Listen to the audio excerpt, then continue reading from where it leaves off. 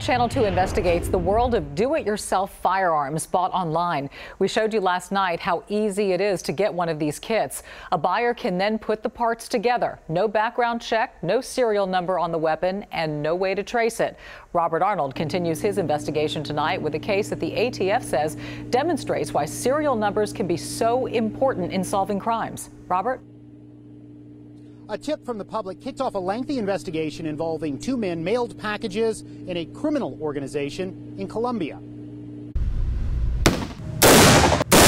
Channel 2 Investigates showed you the debate. Registration leads to confiscation. Over unserialized gun parts and rifle kits like these for sale online and in stores across the country. No serial number attached, no background check needed. I don't think any gun control is appropriate. Without weighing in on the politics, the Bureau of Alcohol, Tobacco, Firearms, and Explosives says serial numbers matter when a gun is used in a crime what you hope for is that leads you to the suspect or the trigger puller. Fred Milanowski is the special agent in charge of the ATF's Houston office. It's all about greed and making money. Milanowski is talking about a Houston man, Patrick Brewer Reagan. He was convicted of getting paid to buy guns and gun parts, then shipping those components to fictitious people at abandoned homes in Colombia. Another man, Nicholas Alig, got probation for buying guns for Reagan. This is the entire timeline of like purchases, flights, everything. This layout shows years worth of gun purchases and flights back and forth to Colombia.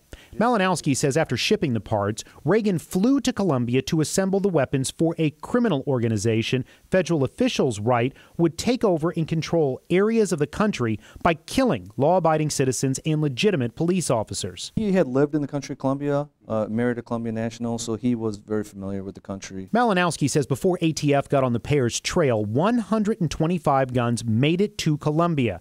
The ATF was able to stop another 32. Serial numbers were key to the case, even though ATF agents say Reagan tried to obliterate some of the numbers. Without those numbers, we would have basically been at a standstill because we wouldn't have anywhere to go back to trace these firearms.